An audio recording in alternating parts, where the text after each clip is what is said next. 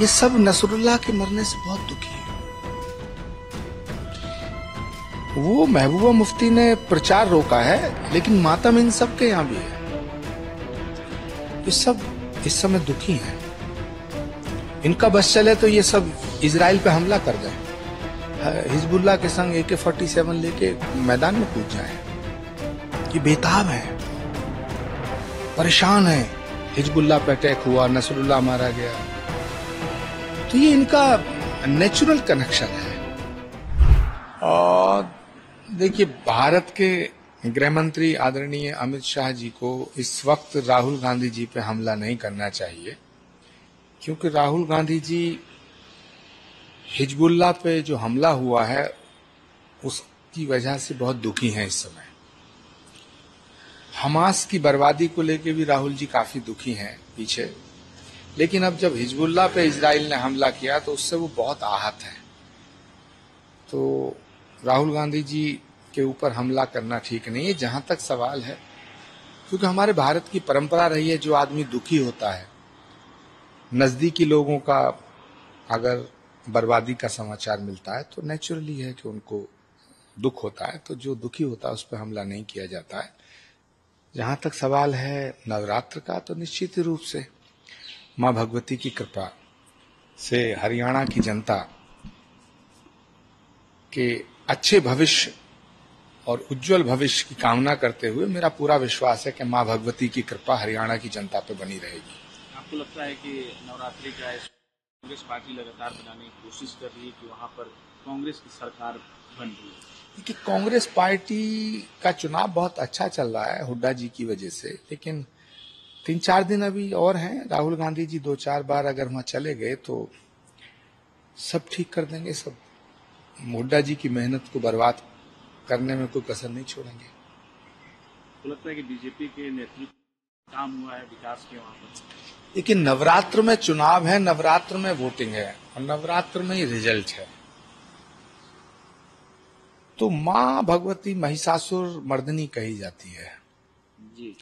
तो जो लोग सनातन को मिटाने की बात करते हैं जो लोग राम का विरोध करते हैं भगवती का विरोध करते हैं शक्ति का विरोध करते हैं देवी का विरोध करते हैं तो मुझे नहीं लगता कि माँ की कृपा उन पर होगी। जम्मू में थे मल्लिकार्जुन खड़गे वाला नहीं जब तक मोदी को हरा नहीं दूँगा तब तक अंदर देखिए मल्लिकार्जुन खड़गे जी की अभी जो उम्र है, वो बयासी, तिरासी साल है। हम भगवान से प्रार्थना करते थे कि भाई वो लंबी उम्र उनकी हो, दीर्घायु हो। अब उन्होंने कहा है, मैं जब तक मोदी को नहीं हटाऊँगा, तब तक नहीं मरूँगा। तो हम तो भगवान से प्रार्थना करते हैं कि हे भगवान, खड़गे जी को सौ साल से भी ज़्यादा लंबी उम्र दे, ताकि इस देश को दो तक नरेंद्र मोदी जैसा प्रधानमंत्री मिलता रहे। पीडीपी की चीफ है, महबूबा मुफ्ती को लेकर उन्होंने आज अपना प्रचार अभियान रोक दिया। वो कह रही है कि इस पर वो कहीं ना कहीं दुखी थी, इसलिए प्रचार अभियान पर रोक लगा दिया गया। देखिए, महबूबा मुफ्ती हों या कांग्रेस पार्टी के बड़े नेता हों या नेशनल कॉन्फ्रेंस हो या समाजवादी पार्टी हो या विपक्ष के जितने भी बड़े बड़े नेता हैं बड़ी बड़ी पार्टियाँ हैं चाहे टीएमसी हो, डीएमके हो, ये सब नसरुल्ला के मरने से बहुत दुखी हैं। वो महबूबा मुफ्ती ने प्रचार रोका है, लेकिन मातम इन सब के यहाँ भी है। ये सब इस समय दुखी हैं। इनका बस चले तो ये सब इसराइल पे हमला कर दें। इनका बस नहीं चल रहा है। और देखिए, भारत के गृह मंत्री आदरणीय अमित शाह जी को इस वक्त राहुल गांधी जी पे हमला नहीं करना चाहिए, क्योंकि राहुल गांधी जी हिजबुल्ला पे जो हमला हुआ है, उसकी वजह से बहुत दुखी हैं इस समय। हमास की बर्बादी को लेकर भी राहुल जी काफ़ी दुखी हैं पीछे। लेकिन अब जब हिजबुल्ला पे इसराइल ने हमला किया तो उससे वो बहुत आहत है। तो राहुल गांधी जी के ऊपर हमला करना ठीक नहीं है, जहाँ तक सवाल है। क्योंकि हमारे भारत की परंपरा रही है, जो आदमी दुखी होता है।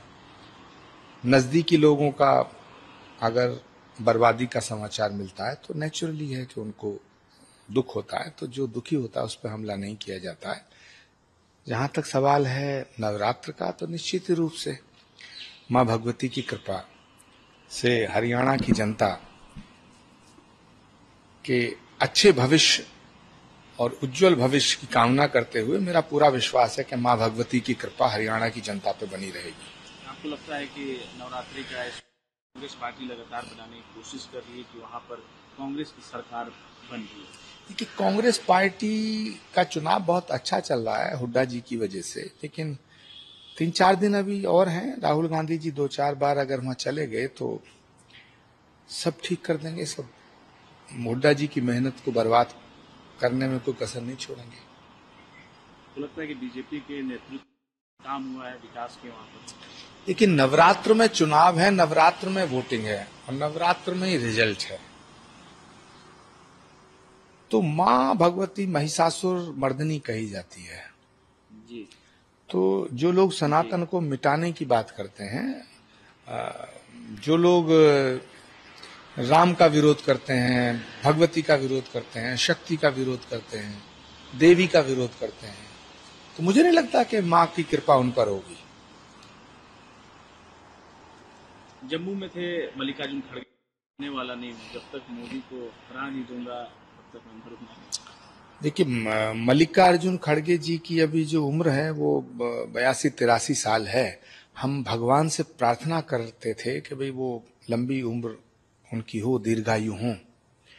अब उन्होंने कहा है, मैं जब तक मोदी को नहीं हटाऊँगा, तब तक नहीं मरूँगा। तो हम तो भगवान से प्रार्थना करते हैं कि, हे भगवान, खड़गे जी को सौ साल से भी ज़्यादा लंबी उम्र दे, ताकि इस देश को दो तक नरेंद्र मोदी जैसा प्रधानमंत्री मिलता रहे। पीडीपी की चीफ है महबूबा मुफ्ती। को लेकर उन्होंने आज अपना प्रचार अभियान रोक दिया। वो कह रही है कि इस पर वो कहीं ना कहीं दुखी थी, इसलिए प्रचार अभियान पर रोक लगा दिया गया। देखिए, महबूबा मुफ्ती हों या कांग्रेस पार्टी के बड़े नेता हों या नेशनल कॉन्फ्रेंस हो या समाजवादी पार्टी हो या विपक्ष के जितने भी बड़े बड़े नेता हैं बड़ी बड़ी पार्टियाँ हैं चाहे टीएमसी हो डीएमके हो, ये सब नसरुल्लाह के मरने से बहुत दुखी हैं। वो महबूबा मुफ्ती ने प्रचार रोका है, लेकिन मातम इन सब के यहाँ भी है। ये सब, इस समय दुखी हैं। इनका बस चले तो ये सब इसराइल पे हमला कर दें। इनका बस नहीं चल रहा है। वरना ये हमास के संग हिजबुल्ला के संग ए के फोर्टी सेवन लेके मैदान में कूद जाए। ये बेताब है। परेशान है। हिजबुल्ला पे अटैक हुआ नसरुल्ला मारा गया। तो ये इनका नेचुरल कनेक्शन है। तमिलनाडु में लगातार सनातन के विरोध में वो बोलते रहे। आपको लगता है किसी बात का उन्हें अवार्ड दिया गया और आज मुख्यमंत्री बनाया गया? कि रावण के वंशज राम का विरोध तो करेंगे ही ना। जो राम का विरोध करेगा सनातन का विरोध करेगा उसे वो आगे बढ़ाएँगे। रावण की सेना में जितने लोग हैं रावण की सेना में जितने लोग थे वो तो स्वतः ही राम का विरोध करते थे ना, एक विभीषण को छोड़ के। तो ये परंपरा चली आ रही है। तो जो राम को गाली देगा, सनातन को गाली देगा, सनातन को बुरा भला कहेगा, उसको तो पदोन्नति मिलना स्वाभाविक है।